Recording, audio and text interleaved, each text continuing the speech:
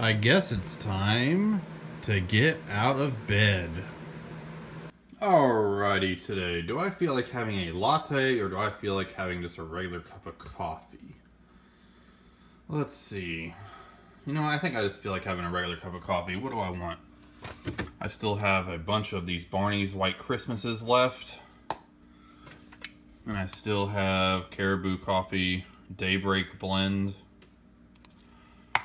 And I still have some half caff. Oh, get that away. I don't want no half caff. But usually when I make a latte, I use my hazelnut coffee, which is in here. Huh. Let's see. You know what? Let's do some regular Caribou Coffee Daybreak.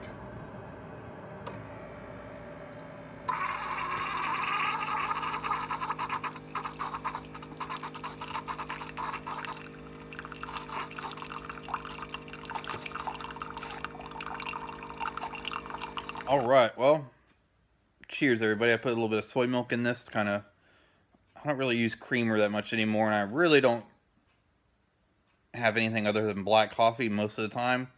Um, but it really depends on how my stomach or something's doing because sometimes the coffee will get my stomach upset and it's still getting over some of the food that I ate in Boston. I ate a lot of great food, but it was bad. Some of it was really bad. So I'm still getting over that. So I threw a little bit of soy milk in here, kind of lighten it up a little bit. Out of my new Starbucks Boston mug that I love. I love this mug so much. And, um, hold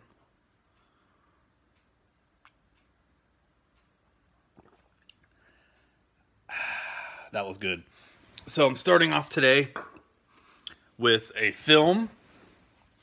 One of my personal favorites um, I'll be watching. I'll be actually talking about it in a in a um, the first video for my 2000 and not my 2000 my 250 favorite film series I'm doing on my main channel that I planned on starting before Boston, but then I planned on waiting until after Boston.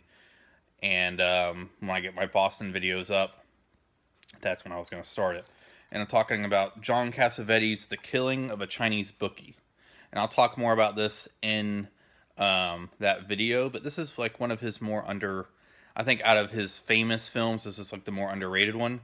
Um, it's my favorite of his films. It's not the best film of his. I think Woman Under the, Woman Under the Influence, um, uh, maybe maybe one more I think are you know better films, but in terms of my favorite, this is my favorite John Cassavetes film, The Killing of a Chinese Bookie.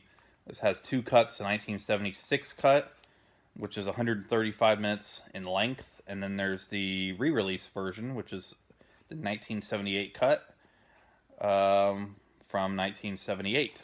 So I always watch the original version.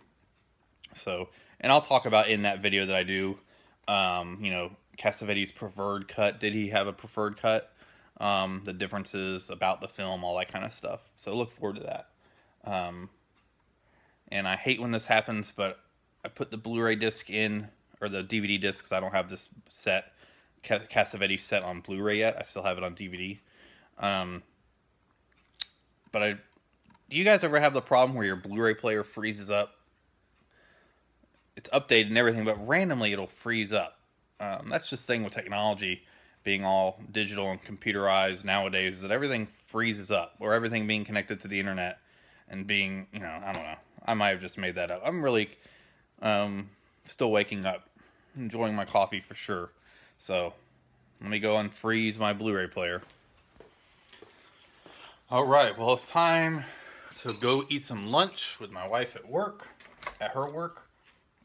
And then I don't know what I'm going to do.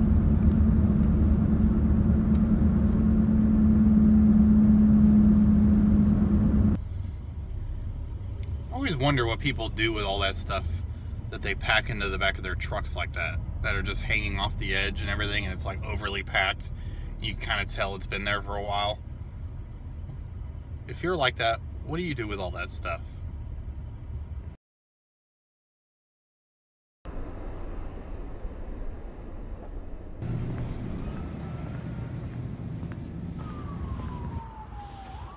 Alright, now we're going to have dinner. I forgot what the place is called, but they have acai bowl, bowls. I was about to say so. acai bowls. So I tried it in Boston. I loved it. So I'm going to try one here.